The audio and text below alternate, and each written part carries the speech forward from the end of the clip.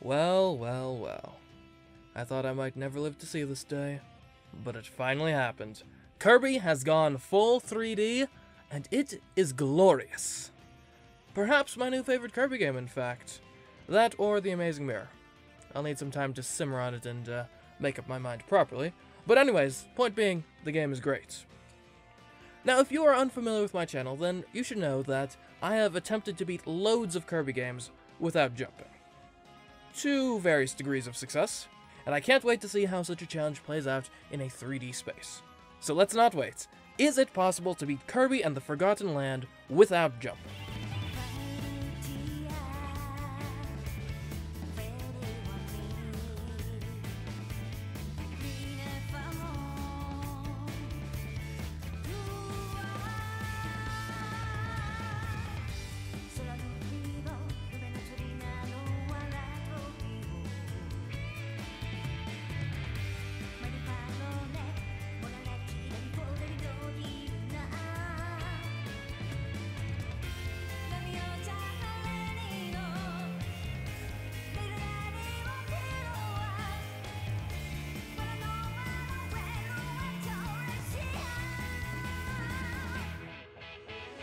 Okay, now before we start exploring this new world, we need to establish what exactly we mean by not jumping.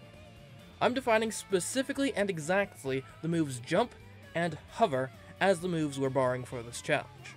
We are not, however, just outright banning any use of the A button, so we can still, for example, talk to people and use moves outside of standard jumping, like the slide or later upward slash, without breaking our rules. I hope that's clear and acceptable to you all. Honestly, it would have just felt wrong to me if our rules had somehow ended up banning the upward slash, which is a move that has served us so well in the past. Anyway, outside of jumping and hovering, we can use any mechanics present in the game to hopefully make our way all the way through the game to the final boss and see the credits roll. Now let's get started. Our favorite pink puffball awakens on a mysterious beach, and we get to, for the first time, experience Kirby gameplay in 3D. Moving's all good, we can still inhale, blocking and dodging is present, and swimming seems pretty straightforward. Okay, let's venture into that jungle. Here we encounter the game's jumping tutorial. Now, typically, encountering a jumping tutorial without a copy ability is game over for one of these challenges. Well, that's because typically the moves we rely on in the stead of jumping, or jump replacements as I like to call them, are derived from copy abilities. So I guess this is jump number one then. But not so fast. This is 3D Kirby, need I remind you, and Kirby's dodge has been greatly upgraded for the third dimension.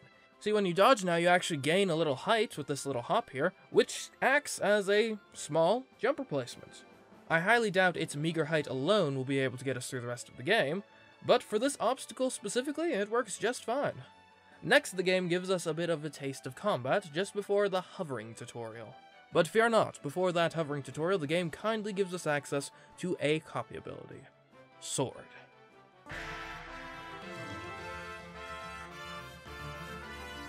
Sword has historically been a great copy ability for these no-jump challenges, thanks to its upward slash. Luckily for us, that move has survived the transition to 3D, though it does need to specifically be done out of a drill stab, which is fine, that isn't really a difficult combination of moves to pull off, so we can still use it quite easily. It seems to get about as much height as a normal jump, which should be sufficient for most obstacles, though it's not great at clearing particularly wide gaps. Additionally, there's no way to fly with it in this game. The only follow-up you can get out of it is a slam straight into the ground. But is it enough to get past the hovering tutorial without jumping? Seemingly not. The upward slash's height is a bit more than a Kirby short of what it would need to be to reach the roof we're aiming for. I looked around to see if maybe we could use a short platform somewhere as a stepping stone to the roof, but they were all too far away to be of use. Part of the issue is that the drill stab always stops at the edge of the platform you're standing on, which is great if you're trying to not fall off a ledge, but not so great if you're trying to maximize the horizontal movement of your jump replacements. That's what normally happens anyway. But this barrel is a bit different.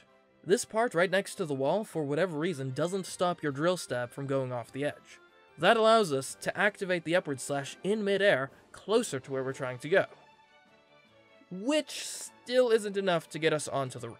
But it is enough to land us on this sign right next to the roof. From there, we can dodge onto the roof, thus overcoming the obstacle. We're then presented with another terrace of the roof to get to, which is again just out of reach of an upward slash. Subverting this one is a much simpler matter, though. You just have to upward slash from the nearby railing.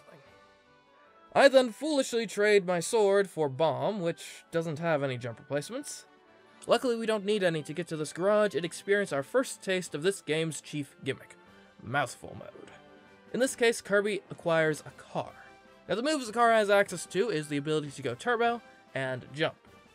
Obviously, we'd like to abstain from participating in the latter activity, and luckily for us, at least in this introductory car area, jumping is entirely optional. We dodge our way through the rubble in the next area before blowing up some beasts and meeting with Elfilin and Bandana Waddle Dee. That marks the end of the tutorial area.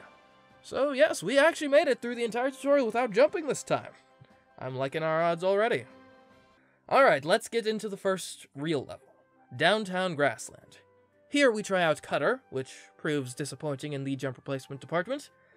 I mean, I guess technically the final Cutter might be able to be used on occasion, but let's be honest, it's not going to.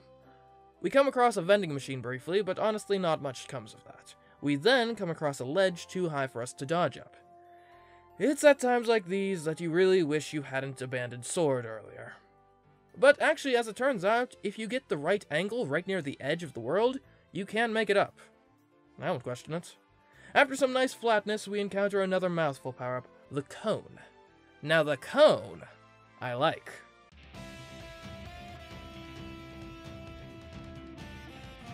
Cone has one jump replacement, the Spike Downward, in which Kirby rises up into the sky before, well, spiking downwards. It provides decent height and is a pretty good attack. What more could you ask for? We then have a boss fight against Wild Edge, which goes quite well, and even lets us get our sword back. Then, with the combination of sword and cone, the remainder of the level is relatively simple. Next up is Through the Tunnel, where we get a taste of fire. Unfortunately, you only turn into a redless fireball if you're already in mid-air when you press the attack button. And even if you do that, it can't really be used to gain height. We get through most of the level though, with Bandana Waddle Dee sometimes being called upon to grab some cages and the like, until this ledge stops us dead in our tracks. Now you may be thinking that Bandana Waddle Dee could help here, but unfortunately Bandana Waddle Dee's utility is severely hampered by the fact that the camera does not follow him at all and Kirby has no way to warp to him. So, in spite of how good his Sphere Copter is, and it's certainly great for grabbing items, he really can't help us much for obstacles that Kirby has to physically get past. Which is what this obstacle is.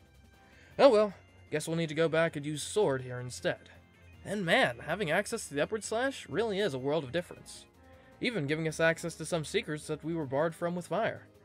The level culminates with a stairs section that proves no threat to our jumpless run. Next stop, Rocky Rollin' Road. Here we're introduced to Spike, which has no jump replacement utility, and honestly very little in the way of general utility. As well as Ranger, which can shoot, but not provide a jump replacement. That's not to say we can't use it. Remember, basically all copy abilities have access to dodging, and if we need to reach some item very high up, there's always the option of summoning in Bandana Waddle Dee with multiplayer to grab it for us. Anyway, Ranger proves sufficient to get us to this car section, which mercifully requires zero jumps. And we even drove without falling off the edge. Which, as it turns out, gave us a free Waddle Dee. Sweet! I suppose now would be as good a time as any to bring up the captured Waddle Dees. If you're familiar with the 3DS Kirby games, then the captured Waddle Dees are effectively this game's stand-in for Sunstones or Code Cubes. You need a certain amount of them from each world to unlock that world's boss. Additionally, the more you get, the more establishments you unlock in Waddle Dee Town. The ways you can get them are by beating levels, finding them hidden within the levels, and fulfilling unique objectives in each level, which vary significantly, whether not falling off a certain part of the level, as we just saw in the last level, leading ducklings to their mother, or a myriad of other tasks. Now obviously some of these Waddle Dees will be unable to get without jumping, but there are so many of them, and a lot of them we can get with only minor detours, or by just playing the game how we were normally going to anyway. So I don't think it would be all that interesting to bring them all up in this video. For right now, I'll only mention captured Waddle Dees if either it becomes difficult for us to get enough of them to progress, or I might mention some specific ones if the process of getting them is particularly interesting. But do know they exist, also know we aren't going to be focusing too much on them, because they're relatively easy to get, usually. Oh, also, treasure roads are a thing. These are short challenges built around the use of a specific copy ability or mouthful transformation that reward you with money and rare stones upon their completion. Rare stones are used to upgrade your copy abilities, so obviously we're going to want to pick up at least a few. And we do just that. Luckily, most of them aren't built around platforming with big jumps, so thus far we've been able to succeed at even ones that feature copy abilities and transformations that don't really have good jump replacements. It's never mandatory to beat any specific treasure road, and we're definitely not aiming to fully upgrade every copy ability, so there's really not that much pressure associated with them. I'll just kind of be doing them as we go along, and if any of them turn out particularly interesting, I'll bring it up. But really, we're going to be focusing mostly on the main levels for this video. Like a trip to the mall, which is actually an incredibly easy level. You can tell because of the fact I ran around using Needle for the first half of it. We then switched to a more reasonable copy ability to finish it up. That unlocks the Brawl at the Mall, where we face Gorimondo. And this fight really hits home how useful Kirby's dodge really is for combat. If you time it right, you even get some bullet time for a counterattack. So all in all, my assessment of the Gorimondo fight jumpless is that it's more interesting than Kirby no jump boss fights normally are, but certainly easier than Marx. Out, out of the way, out, out, out the way, out the way, oh my. Before moving on to the next world, we take the chance to upgrade Fire to Volcano Fire, which is certainly cooler, but isn't any better in the jump replacement department. Now, as for that next world, it's a very water-themed world, which is a bold choice for a game with no underwater gameplay whatsoever. I guess we'll see what it's like then. So like I said, Kirby and the Forgotten Land does not have underwater gameplay at all. Instead, Kirby floats atop the surface of the water. From a practical perspective, this changes the physics of movement slightly and disables or modifies the use of certain moves. One modified move is the dodge, which no longer provides any elevation. That's obviously a bit of a problem since we need some way to reliably get out of water. Luckily, the drill stab and upward slash work the same way from the water surface as they do from land. As such, we make sure to bring Sword with us into this water world. In Abandoned Beach, we encounter Sleep and are super surprised to find out that you have no jump replacements while you're unconscious. Who could have predicted that? Hammer also is very jump replacement lacking. Honestly, Sword does a pretty good job getting us through this first level. At the end of the level, we are presented with this ring, which we mostly just ignore without consequence. Before taking on the next level, we bring Hammer through this grueling treasure road. Yeah, you'd better hope your dodge is on point for this one. Anyway, now for Concrete Isles. Sword serves us very well in saving the first Waddle after which we discover a new copy ability. Drill. Drill's move Excavate is actually a pretty good jump replacement, or rather the part where you resurfaces, launching Kirby a decent bit into the air. You can even then activate a little extra dash sort of maneuver while in midair for some extra distance. So it's pretty useful, but it does come with one glaring flaw, which is the fact that you can't use it everywhere such as on hard surfaces like metal or rock, or importantly from an immediate perspective, from the surface of water. So yeah, drill's not exactly useful right now, but I'm sure it'll come up later. Later on in this level, we encounter a scissor lift, which doesn't even give you the option to jump. Unfortunately, what it leads to is only accessible by drill, and right now we're using sword. Luckily, this is an optional secret, Later on in the level, when the train becomes a bit more agreeable, we switch to drill to find a secret, which is in the form of a pipe that tries to force us to jump. Luckily, it's optional. Aside from that misstep, the latter half of the level is practically built for drill, aside from the last jump, which is over a pretty big gap from a metal platform. Thankfully, Kirby's dodge can get us just barely far enough to clear the gap and finish the level. Scale the Cement Summit introduces us to an interesting copy ability, Tornado. One could make the argument that Tornado doesn't actually have any useful jump replacements. I mean, the act of turning into a tornado gives a bit of height, but not even as much as a dodge does. And yes, Tornado can't gain height in a meaningful way, so in general it's not a great copy ability for jump replacement purposes. But what Tornado can do is preserve height. If you direct your tornado off a ledge, it more or less maintains the same height as it had at the beginning of the move.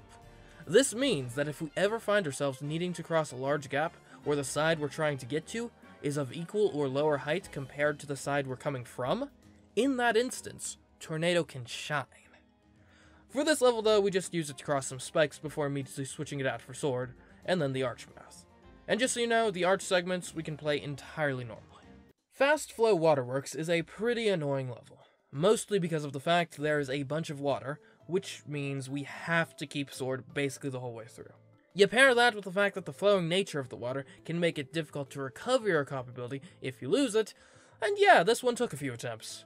Eventually, though, we run across a secret little known strategy called not getting hits, which proves surprisingly effective. The stairs part was pretty fun, though. And what do you know, that unlocks the boss, Tropic Woods, which fire makes short work of, just like in Pokemon. Next is the first level of the third world. No, not that third world. Alright, come on, this isn't a channel about geopolitics, it's about video games. Anyway, that level is Welcome to Wonderia, which introduces us to roller coaster mode, in which you can't jump at all. Yay!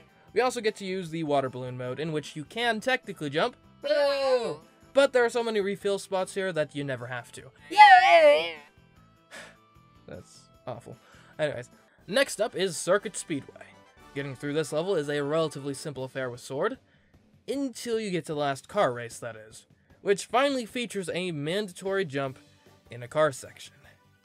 Yeah, I tried just driving off this cliff sans jump, and it didn't work. And before you ask, no, the upward slash is not enough to allow you to make it over. But wait a minute. What if we tried Tornado? Well, first we've got to get through the rest of the level without access to the upward slash, which requires more deliberate, thought out navigation, but is possible. And then when we get to the jump, we just hop out of the car and tornado our way across, no jumps necessary. Oh, by the way, we finally got an upgrade for sword from that level, the Gigant Sword. The Gigant Sword has a slightly higher upward slash, though it's such a marginal difference that it almost never matters in practical use cases. The Gigant Sword's block is also improved, though at the expense of removing dodging entirely from its moveset. So it's not a straight up replacement for Sword, but certainly does have its use cases, like boss fights. Invasion at the House of Horrors is next, and features this light bulb section, which is a real pain because we at some parts have to leave the light bulb behind on account of it not having any good jump replacements, leading to us wandering around bottomless pit littered areas in total darkness. But believe it or not, that's not the worst of it. That honor goes to this timed platforming section, in which we feel the pain of Kirby's bouncing twice in his dodge. But ultimately, dodges are what we have to use here because upward slashes are simply too slow. It can be done though, so long as you're fast, dodge from the very edges of the platform, and pull back a bit once you've landed. Nothing else in level really can compare to that obstacle. Then the Wonderia Parade is a relatively simple affair, wherein we use all three of our main jump replacement copy abilities. And the boss fight with Clawroline is a fun time with Noble Ranger. Before moving on to the next world, we take part in the Meta Knights Cup at the Colosseum, which Gigant Sword absolutely annihilates. Beating that cup unlocks the Meta Knight Sword, which significantly improves the utility of the upward slash by adding in upper calibers you can follow it up with by pressing B. This improves the horizontal movement potential of swords significantly, and does act as an objectively better upgrade to the normal sword in all regards we care about. We also upgrade Drill to Pencil Drill, which isn't anything revolutionary, but is just in general a nice improvement. The first level in London is Northeast Frost Street, which Drill does pretty well in, aside from this instance of metal stairs that we had to call a Bandana Waddle Dee for. And this stairs section, which Bandana Waddle Dee can't solve for us. Back through with Sword we go, which actually goes much better. In Metro Ice, we're really starting to face some more precise platforming, which upward slashes and spikes downwards luckily are still able to get us through. Until we reach this gap. In case you're wondering, no, we can't just swim across, as this water will get us frostbitten. So unfortunately, we can't upward slash across this gap successfully. But what we can do is climb to this secret area and just run off the cliff there, which proves to be enough of a height advantage to grant us safe passage. Windy Freezing Seas is not fun. This is because it forces a ringboat section. Now you find this ring down here, and while you can manage to get it up the first stair without jumping, getting it up the second stair, in my experience, is impossible. Just due to the height difference. Try as you might, the second stair is simply too high for you to be able to suck up something from down below to get it up there. So unfortunately, that seems to be one jump required to get the ring. Or is it? Look, guys, honestly, I have no idea how I managed to get this to happen, but as I continued to throw myself against the wall, trying and trying and trying to get out of this pit without jumping, somehow, during one of my times I spit out the ring, it actually got caught on the edge above me outside of the pit. Again, I don't know exactly what precise geometry caused that to occur, but it did, and that let us progress through the level without jumping in this instance. Unfortunately, the boat section that is immediately thereafter does require one jump for you to dismount out of the boat, and that one, as far as I can tell, there is no way to subvert. Then later on, we are faced with this massive gap, which, as we know, Sword isn't exactly great at dealing with. We do know that Tornado is good at dealing with it, but I don't have Tornado and it's not anywhere in this level. What is in this level is Fire. With Fire, we can actually use its uh, Fire Dash ability to go across the gap and land on the second platform of this cliff over here. Now, Fire can't do anything to get up further on the cliff from here, but luckily we are just close enough here to summon in Bandana Waddle Dee, who can then helicopter his way to victory. That just leaves a mini boss rush left before the world's main boss fight. And honestly, the highlight of this level is probably the patience required from this vending machine section. Anyway, now to fight King Dedede. Like all the other boss fights, it's not jump heavy, so Volcano Fire works just fine for defeating him completely jumpless. Now, for the next world. Starting with the wastes where life began. Getting this first Waddle without jumping requires a bit of sacrifice, or damage boosting as you might call it, but it is possible. Rings come up a few times in this level, but aside from that first time, we mostly ignore them, and finish the level pretty easily. Searching the Oasis has this fast-paced, relatively tricky Waddle section, which almost traps us. Luckily, Bandana Waddle is there to save the day. Also, lots of water spraying, but nothing requiring jumping. Oliva Mall, staff side, actually goes quite a bit better than I had expected. The platforming never becomes crazy, and while it may look like you have to jump to insert the mouthful items into these walls, that's actually not the case. This is because you actually gain a slight bit of height in the process of spitting them out, which is just enough to break through the walls. Moonlight Canyon starts off interestingly to say the least. It begins with us scaling a cliff face. At least the initial few terraces are a small enough increase in height for the upward slash to have no trouble scaling. This one, though, is a different story. Its height is reminiscent of those platforms from the hovering tutorial. As such, none of our three different types of swords is able to overcome the obstacle with their upward slashes. And upward slashes are still the highest jump replacements we have access to. Still, the only recourse we have in a situation like this is to try and find some higher ground to platform our upward slashes from, and in this case, the only thing that comes even close to filling that bill is this rock, which seems too far away to actually be of use. It's certainly too far for normal and gigant swords. Meta Knight Sword might have more of a shot with its upper calibers, but ultimately, either you position yourself in such a way that you go off the rock with your drill stab, in which case you make it to the cliff but without the height necessary to make it up, or you perform your drill stab so that it stays on the rock, granting you sufficient height, but stranding you too far away to actually make it to the cliff. Unfortunately, there is no way to get the best of both worlds here. But what can be done? This is the best jump replacement we have. Well, yes, that's true. But that doesn't mean we can't modify it. Like by patronizing this Waddle Dee's establishment to make it faster. What, you don't get how upping our speed is supposed to help us here?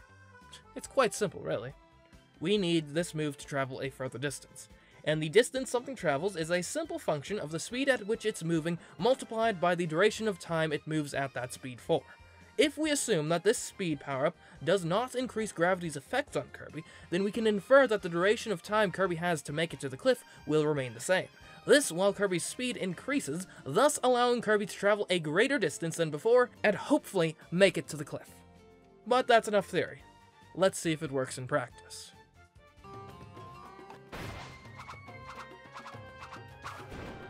Yes! We made it! Thank goodness. We do, of course, still have the whole rest of the level to go, so uh, let's press on and hope that was the worst of it. So next up is a light bulb section. Luckily, wandering around in the dark is at least a somewhat viable approach here, It also helps that the light bulb likes to just sort of teleport to you. The level then ends with some more precise yet certainly possible platforming. The Sillydillo fight is intense, but oh so satisfying to beat with Wild Hammer. That unlocks the sixth and final world. Its first level, Enter the Fiery Forbidden Lands, is where we get to try out our newly upgraded Double Drill. And really, it does great work here, leading to us uncovering many a secret and collectible. Conquer the Inferno Road is a relatively simple romp with sword, until we get to this little boat section at the end, that is. Unfortunately, the only way past this part is by way of the boat, which necessitates one jump to disembark. And believe me, I tried to see if we could skip this boat, and Tornado just was not up to the task. It just stops moving after a certain point. Now, Dragonfire, on the other hand, that can get you across, if only barely. The only issue is you need to then get fire to the end of the level, and it's not anywhere in this level, so you gotta bring it in. And there are loads of obstacles in this level that just simply cannot be dodged out of.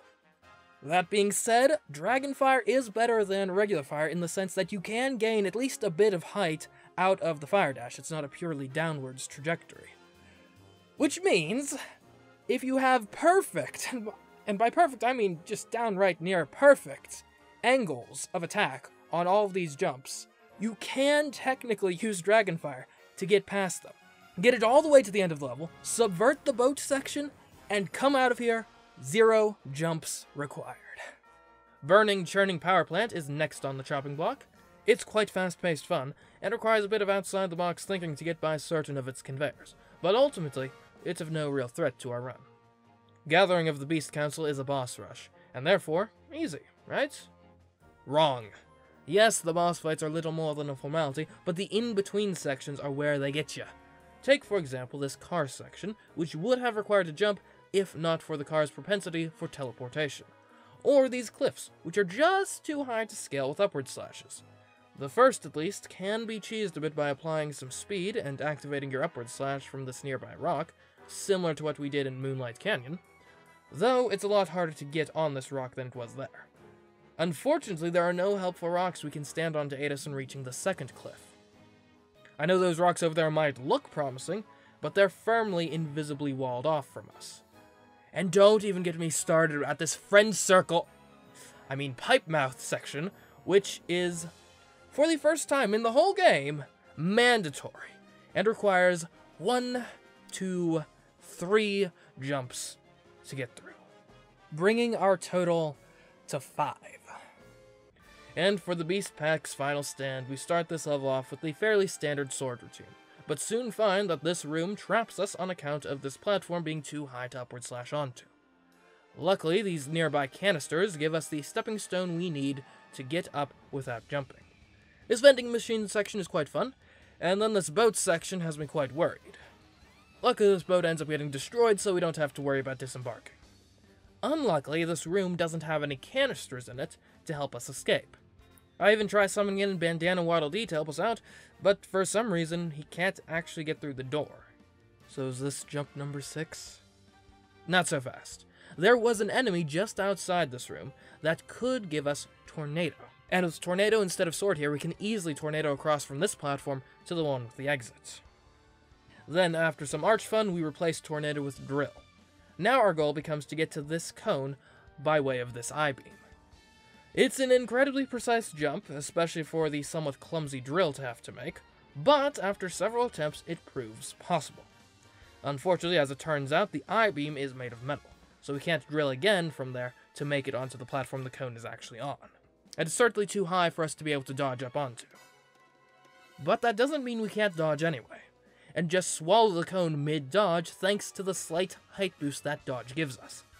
And with the cone swallowed, the last bit of the level falls easily jumpless. All that remains is to fight King Dedede, and Leongar, and Fecto Forgo, and Fecto Elfilis. Certainly some very nice, dramatic, compelling, cinematic fights, even. But ultimately, why would you need a jump when you've got dodge rolls and semi trucks? Oh. Really? As part of the coup de grace for this final boss, they slip in a quick time event jump in the final cutscene? Now, I don't know if anyone working at HAL has seen my Kirby No Jump videos, but in this moment, I can't help but feel personally attacked. Well, not going through with it isn't really an option, so jump number six it is. It's one of our last acts in the whole game. So, is it possible to beat Kirby and the Forgotten Land without jumping? Unfortunately, no. In my experience, it requires at least six jumps to beat Kirby and the Forgotten Land. But hey, I mean, that's not too bad of a result. I'll be honest, going into this, I expected much worse. But yeah, I hope you guys enjoyed this video. If you did, there's no shortage of Kirby No Jump content for you to enjoy on this channel, among other types of video game challenges. And of course, if you've enjoyed your time here, likes, comments, and subscriptions are always appreciated. But anyways, guys, until next time, I've been CMeeCraft, and I'll catch you in the next... What the heck is that? Wait, Kirby, no!